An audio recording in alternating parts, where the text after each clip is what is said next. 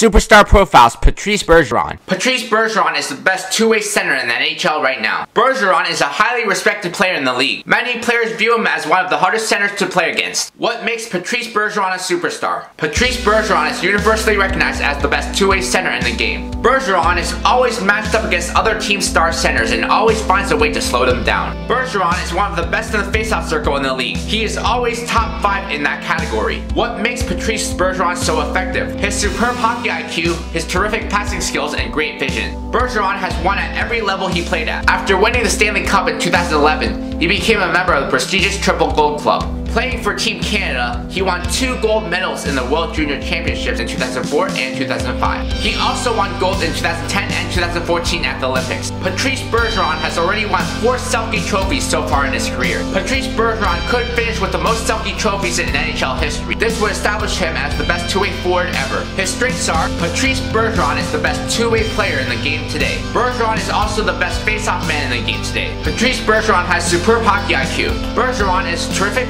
passer with great vision. His weaknesses are, Bergeron doesn't have very powerful shot. Patrice Bergeron is already the best center in the NHL now. If he wins more Selke trophies, he could become the best defensive forward ever. Next, I will have a new series called Coach's Profile.